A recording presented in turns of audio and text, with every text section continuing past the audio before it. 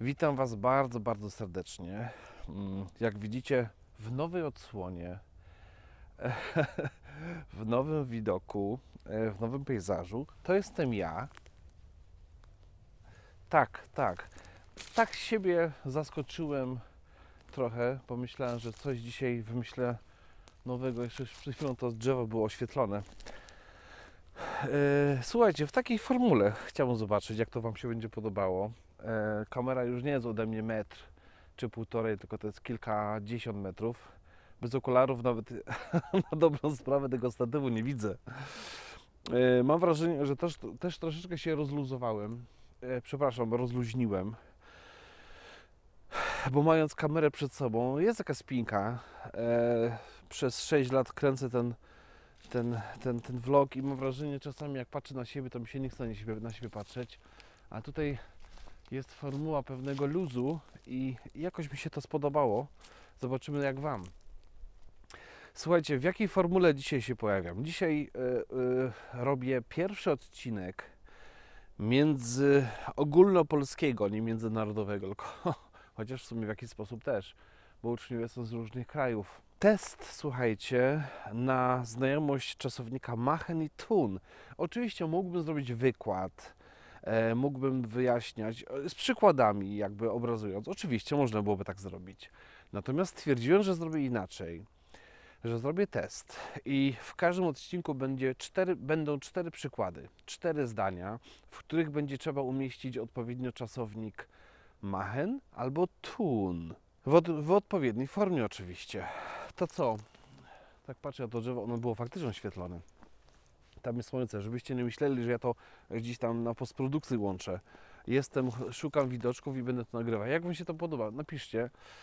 E, jeżeli Wam się podoba taki pejzaż, e, taki rodzaj kadru z kilkudziesięciu metrów, to napiszcie w komentarzu, proszę ja Was, jakby to ująć. E, Entfernung, odległość. Napiszcie w komentarzu Entfernung. Będę rozumiał, że Wam się to spodobało i będzie, chcielibyście, żebym to kontynuował w tej właśnie formie.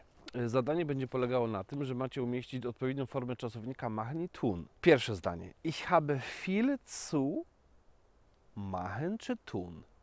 To zdanie oczywiście oznacza, mam wiele do roboty, mam wiele do zrobienia. E, Czy też, ja bym to przetłumaczył też, mam wiele pracy. Nie? Ich habe viel zu tun, czy ich habe viel zu machen. Uwaga, 3, 2, 1. Tun. W tym zdaniu pojawia się czasownik tun i tylko tun. Tutaj nie ma możliwości, żeby użyć machen w żaden sposób. Ich habe viel zu tun. Drugi przykład. Mein Kopf. Tut czy macht mir weh? Mein Kopf tut czy mein Kopf macht mir weh? Uwaga, odpowiedź brzmi. Macie 3 sekundy na odpowiedź. 3, 2, 1. Tut. Ponieważ tutaj chodzi o czasownik wehtun, boleć, sprawiać ból, no, jakby to przetłumaczyć, nie? Czyli głowa sprawia mi ból w takim bardzo dosłownym znaczeniu. Oczywiście kopf tut, tut mir.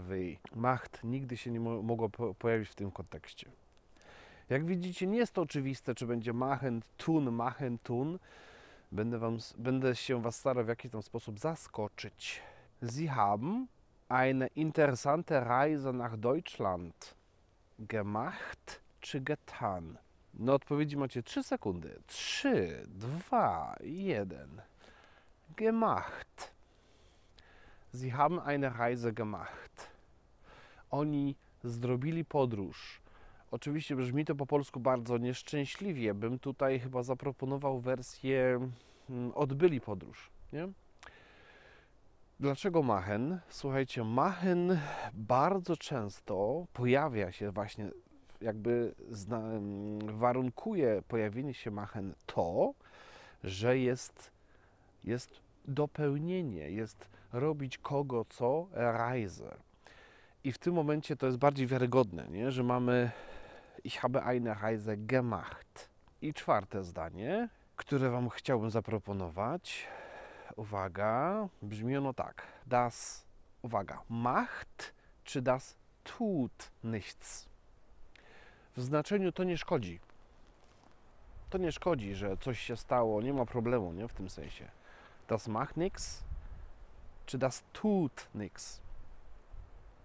Trzy sekundy na odpowiedź. Trzy, zwei, eins. Co ja liczę w ogóle? Drei, zwei, eins, null. Odpowiedź brz- brzmi macht. Das macht nix. Nic nie szkodzi. To jest rodzaj takiego idiomu, takiego zwrotu, w którym jest używany tylko i wyłącznie czasownik machen.